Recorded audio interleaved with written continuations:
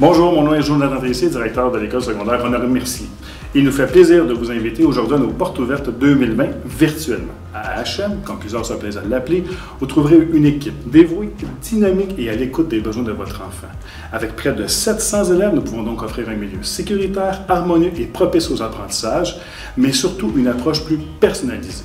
Nous nous efforçons aussi de vous offrir des activités aussi nombreuses que variées. Je vous invite donc à regarder les différentes capsules vidéo faites par nos enseignants, nos intervenants et nos élèves. Et de plus, je vous invite aussi personnellement pour une session de questions-réponses en direct avec mon équipe ce jeudi 22 octobre à 18h. Le lien se trouvera sur notre site web dans la tuile Porte virtuelle 2020. Au plaisir de vous rencontrer en grand nombre. Bonne journée et surtout, merci de nous faire confiance.